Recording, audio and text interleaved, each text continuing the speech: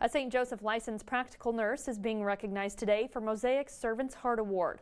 Cameron Broyles experienced both food and housing insecurity growing up.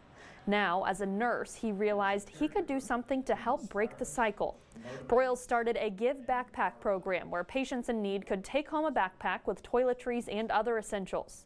As part of the award, Mosaic donated $500 to the charity of his choice, Second Harvest Community Food Bank.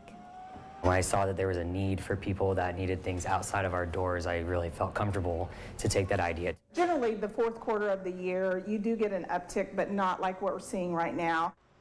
Second Harvest says right now they are seeing a higher demand than normal. Broyles' donation will help feed up to 1,500 people.